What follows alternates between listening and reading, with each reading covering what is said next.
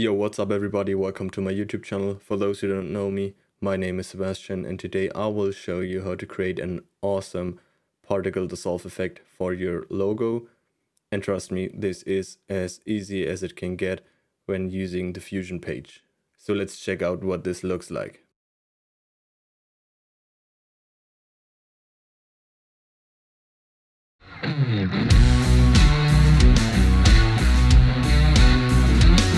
So once you get DaVinci Resolve open, let's just open up our media, which is for now our logo.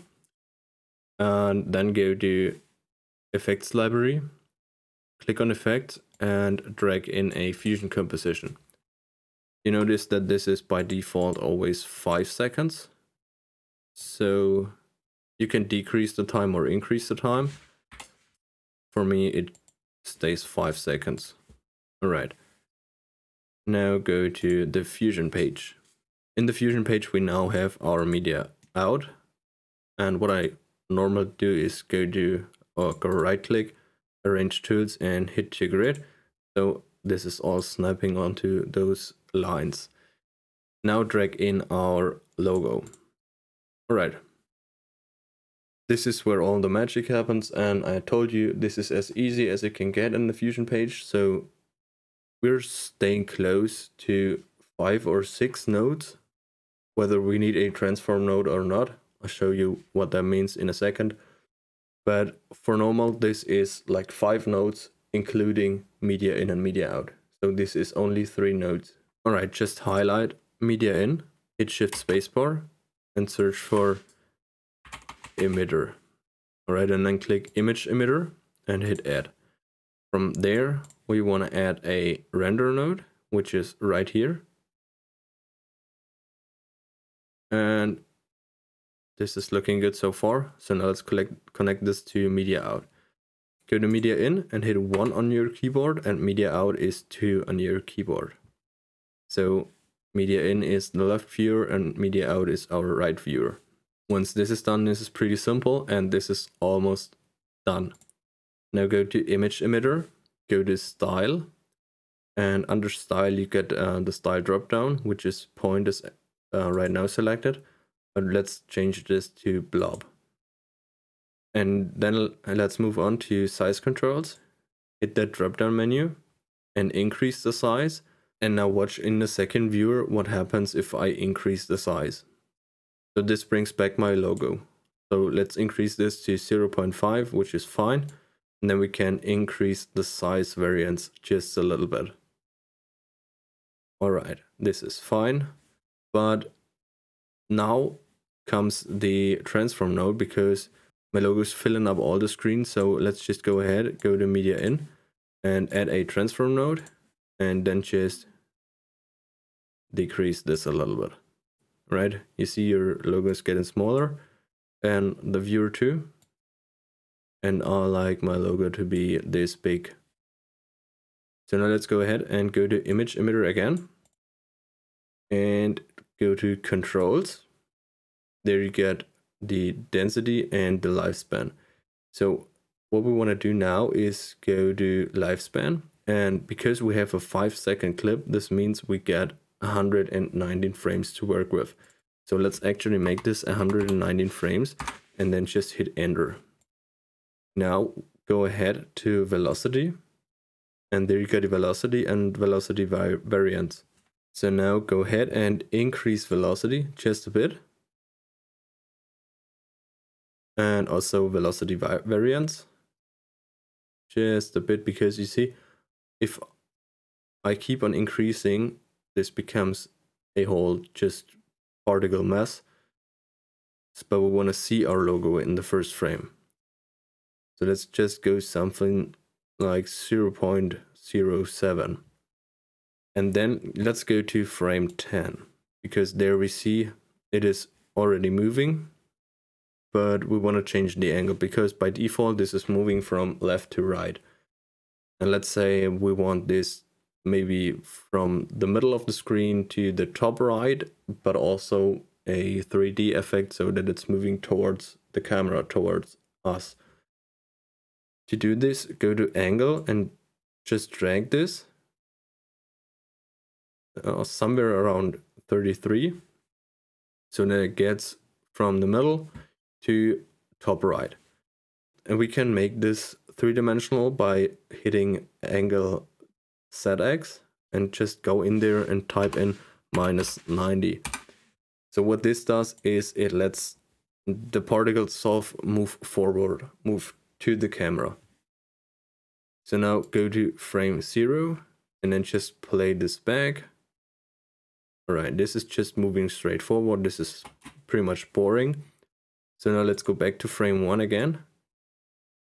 Go to image emitter, hit shift spacebar again, and then search for turbulence. Uh, where is it? Turbulence.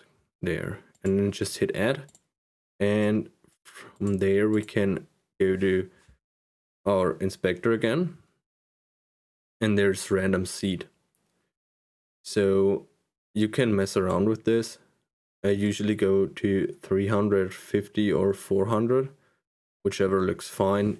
You can actually go ahead, go frame 15 or go to frame 10. And let's make this a little bit 0 0.5 and this also 0 0.5, this 0 to 1 and then hit density to, let's go around 26, looking fine. And now when you go to random seed and drag this, you see in the in the second viewer, you see how this is changing, right? So just pick whatever you like best. Let's just say I go around 400. This is looking pretty fine. If I go to frame zero, my logo's looking pretty normal, pretty good. And this is pretty much done. What we can do now is smoothen this out a little bit. To do this, go to spline and then just hit image emitter and then just check this and click on these arrows here to make this full size and then just hit uh, highlight the keyframes then hit S on your keyboard drag this down a little bit and drag this up a little bit right? We same we can do with uh, blur over life. Highlight them, hit S. Right, bring this down a little bit and bring this up a little bit. So now we can go ahead, go to turbulence. And you can you can navigate here by clicking the middle mouse button or your mouse wheel and just holding the click and then just dragging it over.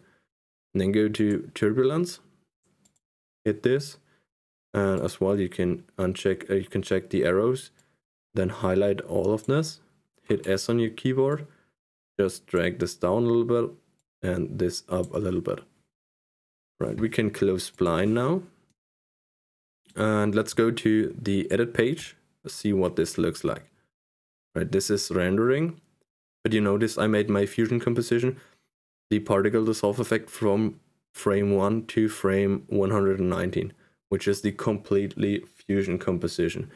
So there's not a single time where you see your logo like originally.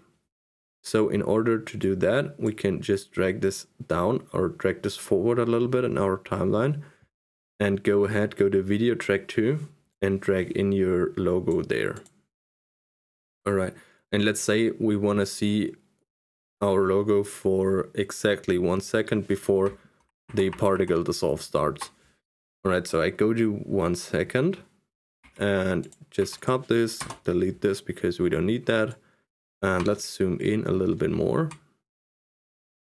So you see now I'm like straight at 20, uh, 20 frames where my fusion composition begins. And my fusion composition is the logo in the background. So this is way smaller than my logo, my original logo. We gotta make this fit. And because we earlier said that we don't want our logo this big, we actually go ahead to our original logo and just transform this so that it fits somewhat. Alright, this is not perfectly fitting, this is fine but it's doing the job. So now, go ahead and ease this out just by clicking this if you hover over the clip, there comes two uh, white corners and just click and drag this in a little bit around three or four frames and then just do the same with the fusion composition just click and drag this in for four frames. Right this is fine. So now go ahead go to the end of your fusion composition like there and go to video transitions go to cross dissolve and just add a cross dissolve at the end and make this just 0 0.5 seconds, just half a second, and then go to ease and hit ease out. Alright, so now we are pretty much finished. I'll show you what this looks like in full screen in a second. Just wait for this to be rendered. Alright, it finished rendering. So now let's make this full screen. And just hit play. This is it. So there's not a lot of magic going on right now. These are just some basic nodes that you can customize and get a pretty awesome result. And from the end, you can you can also make this shorter if this is too long.